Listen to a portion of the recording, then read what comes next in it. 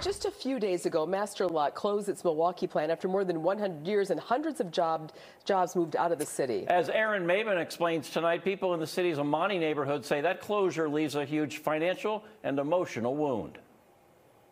The Amani neighborhood was once a thriving neighborhood. At the Dominican Center in Milwaukee, Marisha Harris speaks about the past and the present. The neighborhood today faces um, significant challenges, but it's because of the decades upon decades of divestment in this community. Harris is executive director of the Dominican Center in the city's Amani neighborhood. The nonprofit works tirelessly to uplift the community.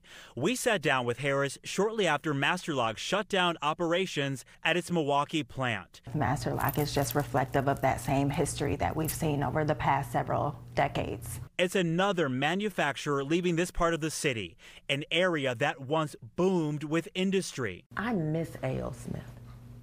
We had a hope with Talgo at first.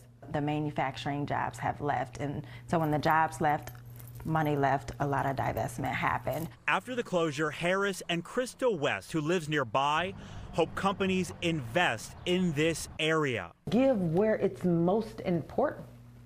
You see future leaders come out of this neighborhood. They hope that includes more funding for green jobs and sustainable industries. Companies are closing, but we're not trying to keep the buildings open that's doing the work. We want employers, we want grocery stores, we want amenities to locate in or near the Amani neighborhood so that the people who live in this community have access to everything that they need. A push for investment and opportunity all for a brighter future for this neighborhood.